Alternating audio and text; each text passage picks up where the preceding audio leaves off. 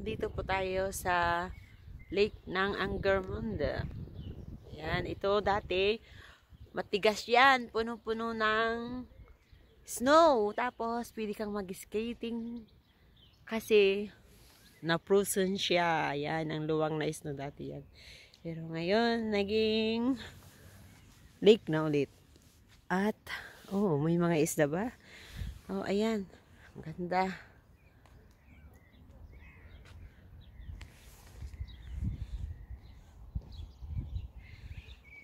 At doon po ako pumunta sa kabilang noon. Noon last time pumunta ako doon.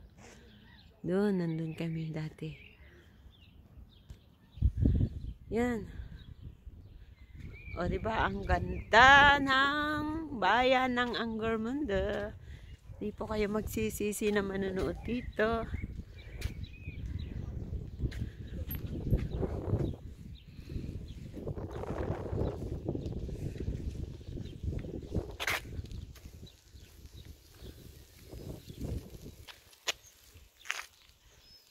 Ayan po.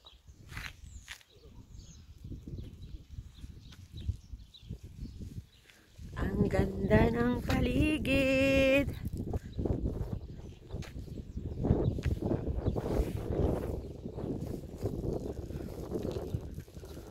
At makikita niyo po, ayan po, nakikita niyo po yan.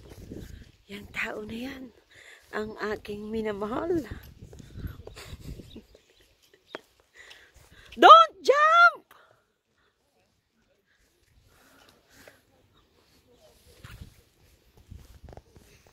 Mm, don't jump! Oh, tapos, baka mabitawan ko tong aking phone dito, kakatakot. Wait, I hold you. no! Ang ganda! O, oh, di ba? Oy, oh, kakatakot.